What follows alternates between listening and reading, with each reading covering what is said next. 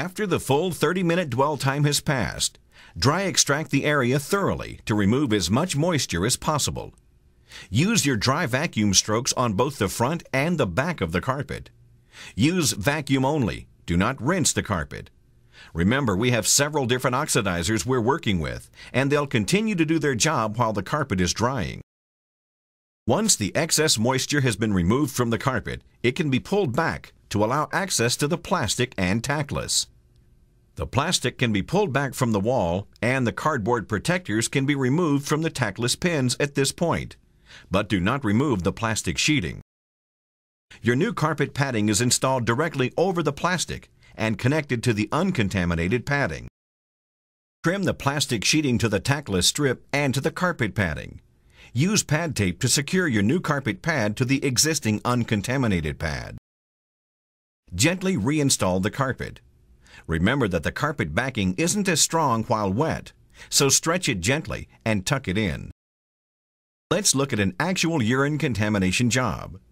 The main contamination is in the corner of the room but extends about 6 feet down the wall. First, we gently disengage the carpet from the tackless and pull it back to expose the contaminated pad. Then, to make your job easier during the reinstallation process, place your new pad directly over the contaminated area and cut through both sections of pad at once. Momentary contact with the contaminated pad will not be enough to contaminate the new pad, and you'll have a perfect match when you reinstall. Remove your perfectly matched pad and set it aside for later use in the procedure. Remove the contaminated pad and dispose of it. Sweep up any dust or debris that's accumulated in the area. Note the tackless here has some staining, but has not deteriorated. It can be sealed and does not need to be replaced. Remember to filter your odor barrier before filling your sprayer. This can be done with a paint filter, available for just a few cents at any paint store, or you can use cheesecloth or even an old pair of nylons. As we discussed before, a thorough application of odor barrier to contaminated surfaces is very important to the success of your procedure. Pay special attention to the junction between the floor and drywall, as well as to any contaminated tackless that's being treated and not replaced. As you can see, the baseboards have been removed in preparation for sealing and repainting. When using plastic to create your trough, follow the contour of the floor so the plastic forms a tray. Overlap the uncontaminated pad by at least two feet to keep it dry during this process. Use tape to secure the plastic to the wall and prevent the OSR solution from seeping under the wall and into the next room. Now that the trough has been created, we can lay the carpet back down to be treated with the OSR. Placing the carpet back in the trough we created makes it easy to thoroughly treat the carpet with OSR. Here are a couple of tips when mixing your OSR solution. First, if you're using a 5-gallon container, only put about 3 gallons of hot water in at a time. That way, if the OSR foams up, it should still be contained within the bucket. Second, add the OSR powder to the water and not the other way around. You'll find you get much less foam and the product will be easier to mix. And finally, mix your OSR solution right next to the area you're going to be treating. If you do find yourself with an excess of foam, you'll be able to direct it to the area you're treating and not leave a trail through your customer's home that will need to be cleaned up. Dilute 1 cup of OSR powder per gallon of hot water for your ready-to-use solution.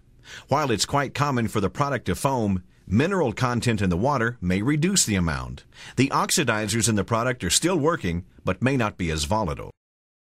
Again, make your job easier and mix the product right next to the area you're treating and mix your OSR thoroughly.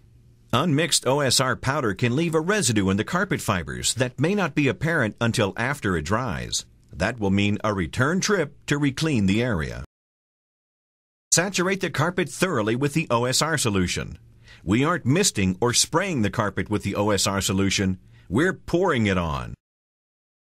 Once you have enough solution on the carpet, use your wand without any of the hoses attached as a squeegee to ensure all contaminated fibers are saturated. Allow the solution to dwell for 30 minutes. The primary oxidation reaction is taking place during this time, And while it's working, we can work in other areas of the house. Whether it's removing stains, doing repairs, even straightening your van, do what you need to do to stay busy while the OSR is allowed its full 30 minute dwell time. After the OSR has been allowed to dwell, use your wand with vacuum only dry strokes to remove excess solution. Remember, there are several timed release oxidizers in the OSR. Even though you may not be seeing a visible reaction like you did within the first 30 minutes, the OSR is still active and will continue to work removing odors and stains during the drying process. Rinsing the face fibers will inhibit this reaction and will often leave water markings on lighter carpets as it dries. Once the primary extraction has been accomplished, it's time to assess the effectiveness of the treatment. Some severe urine contaminations may require a second application of the OSR solution and a second 30-minute dwell time to be completely effective. As you become more experienced with the procedure, you'll be able to determine when a second application is necessary.